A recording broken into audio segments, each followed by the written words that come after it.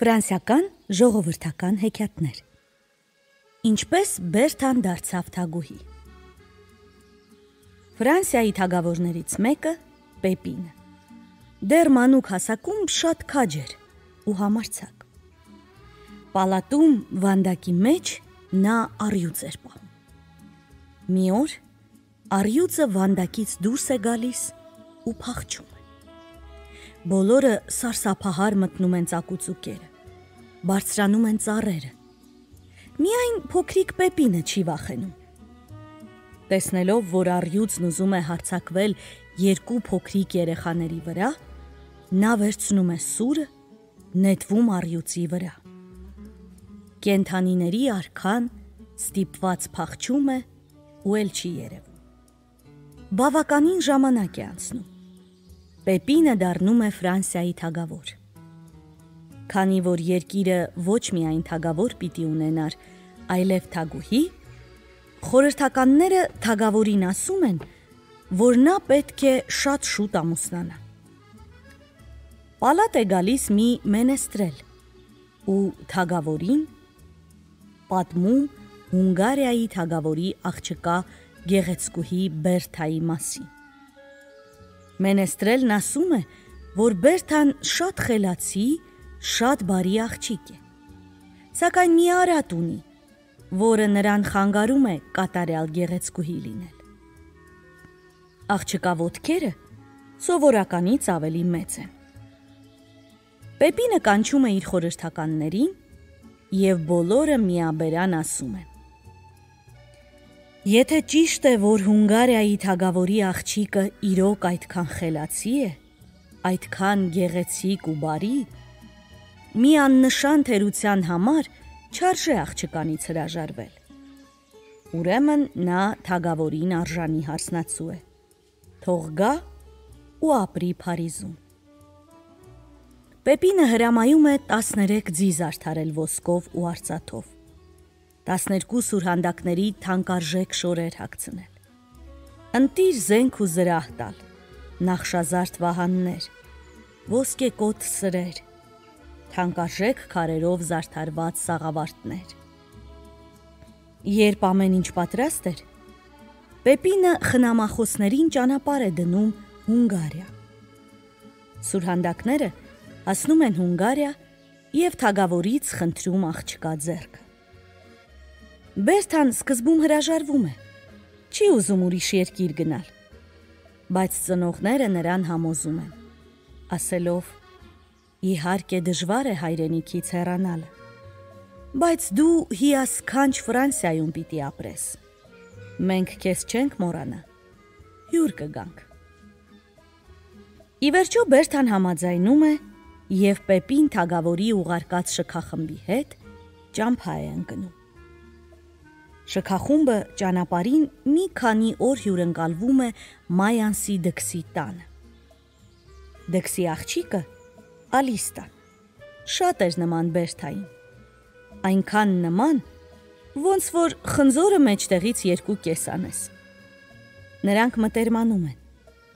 Բերթան Ալիստային առաջարկում է իր սպասուհին դառնալ եւ իր հետ մեկնել Փարիզ։ Ալիստան հաճույքով համաձայնում է եւ տիրուհու հետ ճանապարհ ընկնում։ Երբ Փարիզ են հասնում, Հունգարիայի ջահել արքայադուստրը երկար ճանապարհից հոգնած է լինում եւ աղախնին խնդրում է իր փոխարեն ներկայանալ Պեպին թագավորին։ Ալիստան հակնում է արքայադստեր ամենագեղեցիկ շորերը, զուգվում զարդարվում է եւ որպես Հունգարիայի թագավորի աղջիկ ներկայանում է Պեպին թագավորին։ Թագուհի լինելը Ալիստային այնպես է գրավում, որ նա որոշում է ամբողջ կյանքում մնալ Պեպինի կողքին։ Նա ոսկով ու արծաթով կաշառում է երկու պալատականի։ Հրամայում է Բերթային թաքուն դուրս տանել քաղաքից ու աչքից հեռու մի տեղում պահել։ Պալատականները Բերթայի ձեռ ու ոտը կապում են, դնում մի ձիու վրա, իրենք էլ իրենց ձիերն են նստում ու քարատրոп հեռանում քաղաքից մի մութ անտառ են մտնում։ Կանգ առնում բացատում, որ աղջկան սպանեն։ Բայց աղջիկն այնքան գեղեցիկ էր, որ պալատականները խղճում են եւ որոշում են չսպանել։ Բերթային թողնում են անտառի խորքում, իսկ իրենք արագ ետ են վերադառնում։ Միայնակ ու լքված Բերթան սկսում է հոնգուր-հոնգուր լաց լինել։ Նրա սիրուն աչքերից արցունքները թափվում էին հեղեղի նման։ Խեղճ աղջիկը չգիտեր ինչ աներ, ուր գնար։ Որ կողմը նայում էր, անվերջանալի մացառուտներ էին։ Ճահիճներ ու փշոտ թփեր, որոնց արանքից նրան էին նայում գազանները։ Խեղճ աղջիկը վախից սկսում է բղավել, օգնություն կանչել, բայց ոչ ոք չի լսում եւ չի արձագանքում նրան։ Մութն ընկնում է, վրա է հասնում գիշերը։ Ուժեղ կամի է բարձրանում։ Ծառերն օրորվում են, բուերը կռնչում են ծառերի կատարներից։ Կեսգիշերին ամպրոպ է պայթում, եւ խեղճ աղջիկը չի իմանում որտեղ պատասպարվի սառն անձրևից։ Մթության մեջ գայլերը ոռնում են, մոտենում են մարգագետնի շուրջը շրջան են կազմում։ Բերթան սկսում է դեսուդեն վազել։ Մոշի թփերի արանքով անցնելիս ոտքերը ճանկրոտվում են։ Նա ընկնում է ցեխաջրի մեջ։ Ոտքերը քարշ տալով մի քիչ առաջ է գնում եւ հոգնած ու ուժասպառ նորից ընկնում է թաց խոտերի վրա։ Մի քիչ հետո քամին մեղմանում, անձրևը կտրվում է եւ հայտնվում է լուսինը։ Երբ Բերթան ուշքի է գալիս, լույսն արդեն բացվում էր։ Ուր գնամ։ Ինչ անեմ, մտածում է Բերթան։ Մրսում եմ։ Սոված եմ։ Ով ինձ կտակացնի։ Ով մի կտոր հաց կտա։ Նա հիշում է իրենց տունը, ծնողներին եւ նորից է սկսում լաց լինել։ Մայրիմ, հեկեկալով շշնջում է Բերթան, վախենալով, որ հանկարծ գայլերը չլսեն ձայնը։ Եվ դու հայրիմ։ Դուք ինձ վաղուց չեք գրկել ու գուրգուրել։ Մենք այլևս իրար չենք տեսնի։ Մենակ կապրեմ, բայց ձեզ ամոթով չեմ անի։ Ոչ մեկին չեմ ասի, որ Հունգարիայի թագավորի աղջիկն եմ, որ Պեպինի կինն եմ, Ֆրանսիայի թագուհին։ Մինչ Բերթան այսպես խոսում ու լաց էր լինում, նորից ուժեղ քամի է բարձրանում եւ հորդառատ անձրև տեղում։ Վախից դողալով եւ ցրտից սրծրթալով Բերթան մի թավուտ է մտնում եւ այդտեղ էլ գիշերում։ Երբ լույսը բացվում է, Նա թաքստոցից դուրս է գալիս եւ սկսում է անտառում թափառել։ Նա քայլում էր մինչև ծնկները թաղվելով ճահճի մեջ։ Փշերը ծակծկում էին։ Ծառերի բներին հենվելով մի կերպ ոտքի վրա էր մնում։ Վերջապես սոճուտում Բերթան մի արահետ է գտնում։ Բայց արահետով քայլելը նույնպես դժվար էր։ Վաղուց մոռացված էր այդ արահետը եւ համարյա անանցանելի այնքան է քայլում այդ արահետով, ինչև ուժերը սպառվում են։ Հանկարծ Բերթան շանհաչոց է լսում։ Լարում է վերջին ուժերը, մի քիչ էլ է առաջ գնում եւ հասնում է մի բացատի։ Սոճիներով շրջապատված մի խրճիթ է տեսնում։ Հասնում է խրճիթին։ Գիտակցությունը կորցնում է եւ ընկնում գետնին։ Խրճիթում ապրում էր փայտահատ Սիմոնը։ Տուն վերադառնալիս Սիմոնը տեսնում է գետնին ընկած աղջկան։ Ածխահատը աղջկան գրկում է ու տանում տուն։ Աղջիկը թեթև էր, ինչպես փետուրը։ Սիմոնի կինը Բերթային պարկեցնում է վառարանի կողքին, որ խեղճը մի քիչ տականա։ Մարդուկին հիացած նայում են անծանոթ աղջկան, զմայլվում նրա գեղեցկությամբ։ Երբ Բերթան ուշքի է գալիս, Նրանք երակրում են, փայփայում, ինչպես հարազատ երեխային։ Բերթան պատմում է իր գլխին եկածը։ Փայտահատն ու կինը աղջկան առաջարկում են մնալ իրենց խրճիթում։ Միասին ապրել։ Բերթան համաձայնում է։ Փայտահատը երկու աղջիկ ուներ։ Բերթան բարեկամանում է նրանց հետ։ Աղջիկներն էլ նրան են սիրում իրենց հարազատի պես։ երբ Բերթան հիվանդանում էր, բոլորը սիրով խնամում էին նրան։ Բերթային հարգում ու սիրում էին, որովհետև նա բարի ու սիրալիր էր բոլորի նկատմամբ։ Տարիներ են անցնում։ Ճիշտ է, անտառի խրճիթում Բերթան անհոգ էր ապրում, բայց չէր կարողանում մոռանալ Փարիզը եւ միշտ մտածում էր ծնողների մասին։ Մայրի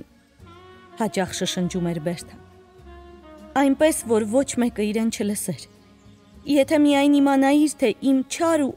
անամոթ աղախինը ինչպես խափեց ինձ։ Հունգարիայի թագուհին նույնպես չէր մոռացել իր աղջկան եւ ժամանակ առ ժամանակ սուրհանդակ էր ուղարկում Փարիզ։ Սուրհանդակներին Ալիստան պատասխանում էր մեծ զգուշությամբ, որ เป զի ոչ ոք ոչինչ չկասկածեր։ Այսպես անցնում է 9.5 տարի եւ մի օր էլ Հունգարիայի թագուհին ցանկանում է տեսնել իր աղջկան։ Նա սուրհանդակ է ուղարկում Փարիզ Բերթային խնդրելով մի քանի օր գալ Հունգարիա։ Կեղծ Բերթան պատասխանում է, որ ինքը վատառողջ է եւ չի կարող այդքան երկար ճանապարհ գնալ։ Թագուհին շատ է անհանգստանում, իմանալով, որ աղջիկը հիվանդ է։ Այդ դեպքում ես կգնամ Փարիզ, որոշում է Թագուհին։ Թագավորը փորձում է համոզել կնոջը։ Ասում է, որ ճանապարհը երկար է ու հոգնեցնող, որ հարկադրված կլինի գիշերել պատահական իջևանատներում։ Բայց Թագուհին լսել չի ուզում։ Եթե իմ աղջիկը դիմացել է այդ ճանապարհորդությանը, հայտարարում է Թագուհին։ Ես էլ կդիմանամ։ Թագուհին իր շքախմբով ճամփա է ընկնում։ Փարիզ է հասնում թե չէ, ուզում է անմիջապես տեսնել իր աղջկան։ Պալատի պահակները փակում են ճանապարհը ասում, որ իրենց հրամայված է ոչ մեկին չթողնել թագուհու մոտ։ Բայց Հունգարիայի թագուհին նրանց մի կողմ է հրում եւ մտնում է թագուհու ննջարանը։ Սենյակում մութ էր։ Պատուհանի հաստ վարագույրներից բոլորովին լույս չէր թափանցում։ Հունգարիայի թագուհին խարխափելով մոտենում է մահճակալին, որտեղ պարկած էր կեղծ բերտան։ Փաթաթվում է նրան եւ սկսում է լաց լինել։ Նա քաղցր խոսքեր է ասում սփոփում հիվանդին, կարծելով թե նա իր հարազատ աղջիկն է։ Հանկարծ թագուհին ցնցվում է։ Կիսամթի մեջ նա նկատում է, որ հիվանդի ոտքերը շատ փոքր են։ Բերթայի ոտքերին նման չեն։ Նա մի ցածկով հասնում է պատուհանին, արագ բացում վարագույրները եւ սենյակը միանգամից ողողվում է արևի լույսով։ Թագուհին մի կողմ է շպրտում վերմակը, ուրشادիր նայում է պարկացի դեմքին եւ հանկարծ բացականչում է. Սա իմ աղջիկը չէ։ Սա իմ Բերթան չէ։ Ալիստան ստիպված ամեն ինչ պատմում է Պեպին թագավորին։ Պեպինի հրամանով բերում են այն երկու պալատականներին, որոնց Ալիստան կաշառել էր։ Պալատականներն ընկնում են թագավորի ոտքերը, աղաչում, որ իրենց ների։ Ասում են, որ Բերթային չեն սպանել։ Թողել են անտարի խորքում։ Պեպին թագավորը զայրանում է իր երկրից վրընդում է Ալիստային։ Պատժում է երկու պալատականներին։ Հետո Պեպինը իր լավագույն հեծյալների հետ գնում է փնտրելու իսկական թագուհուն։ Գնում են, հասնում այն անտառը, որտեղ 10 տարի առաջ պալատականները թողել էին Բերթային։ Աղջկան փնտրում են, փնտրում, չեն գտնում։ Եվ մտածում են, որ խեղճը չի կարողացել խուսափել այն վտանգներից, որոնք կարող էին նրան կործանել այդ մութ անտառում։ Պեպինը շատ է տխրում այն մտքից, որ այլևս չի գտնելու Բերթային։ Բայց հանկարծ նա խոտերի մեջ կորած մի արահետ է նկատում եւ արահետով քայլող մի ջահել աղջկա, որի ձեռքին ջրով լի դույլ կար։ Պեպինը խթանում է ձին, ուզում է մոտենալ աղջկան ու հարցուփորձ անել Բերթայի մասին։ Աղջիկը թագավորին տեսնում է թե չէ, դույլը գցում է ու վազում է դեպի խրճիթը։ Թագավորը նկատում է, որ աղջիկը բավականին մեծ կոշիկներ ունի հակին եւ ուրախությունից ավելի ուժեղ է խթանում ձին եւ խրճիթի մոտ հասնում է աղջկան։ Ո՞վ եք դուք։ Ինչ է ձեր անունը։ հարցնում է Պեպինը։ Մոտ եկեք, մի վախեցեք։ Ես Ֆրանսիայի թագավորն եմ։ Ես Ֆրանսիայի թագուհին եմ։ Հունգարիայի թագավորի աղջիկը։ Պեպին թագավորի կինը։ Ես հենց Պեպինն եմ, բացականչում է թագավորը։ Նա աղջկան նստեցնում է իր ձին եւ տանում է Հունգարիայի թագուհու մոտ։ Պետք էր տեսնել, թե մայր ու աղջիկ ինչպես գրկախառնվեցին։ Ուրախության արցունքներն ինչպես էին ողողել նրանց այտերը։ Եթե դուք իմ աղջկան չգտնեիք, արցունքների միջից ասում էր Հունգարիայի թագուհին Պեպինին։ Ես չգիտեմ, թե ձեզ ինչ կանեի։ Ես ես երևի ձեր գլուխը կթրցնեի։ Հետո նրանք վերադառնում են փայտահատի խրճիթը։ Եվ Սիմոնին ու նրա կնոջը պատմում են Բերթայի ով լինելը։ Խեղճ մարդիկ հուզվում են, երբ իմանում են, որ իրենց օջախում 10 տարի ապրել է Ֆրանսիայի թագուհին։ Սիմոնին տանում են Փարիզ, եւ թագավորը նրան շնորհում է ասպետի կոչում։ Պեպինը նրա կրծքին մի շքանշան է ամրացնում. կապույտ մարգագետնի ֆոնի վրա պատկերված մի մեծ ոսկյա ծաղիկ։ Ամբողջ թագավորությունում մեծ ուրախություն է սկսվում։ Խաղակում մի անկյուն չկար, որտեղ չլսվեր Բերթայի անունը։ Բոլորը բացականչում էին. «Ապրեն թագավորն ու թագուհին»։ Հունգարիայի թագուհին մի քանի օր մնում է իր աղջկա մոտ, իսկ երբ ցանկանում է տուն վերադառնալ, ֆրանսիական թագավորության ամենաընտիր հեծյալները հանդիսավոր կերպով նրան ուղեկցում են մինչև քաղաքի դարպասները։ Պեպին թագավորն ու Բերթաթագուհին միասին ապրում են երկար-երկար տարիներ։ Ապրում են ուրախ ու երջանիկ։ Ուրիշ էլ ինչ մնաց ասելու։ Հա, քիչ մնաց մոռանայի։ Որոշ ժամանակ անց նրանք մի տղա են ունենում որը հետագայում դառնում է հզոր թագավոր։ Իր ասպետների ու զինվորների փառքն ու պարծանքը։ Այսքանը։ Նրա արած քաջագործությունների մասին չեմ ուզում ձեզ պատմել, թող ուրիշները պատմեն։ Չեմ ուզում պատմել, որովհետև մեր հեքիաթն այստեղ ավարտվում է։